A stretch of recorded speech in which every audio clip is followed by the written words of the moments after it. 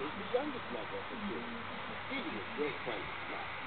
She likes to ask questions and talk a lot. Phoebe also enjoys talking and listens to it on her headphones. She loves to laugh. Phoebe wants to be involved. She's always ready and willing to help out and get the job done.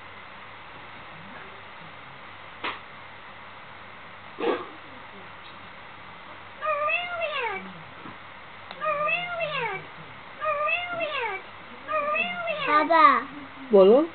এটা। এই গেমটা ভালো? খেলো খেলো খেলো।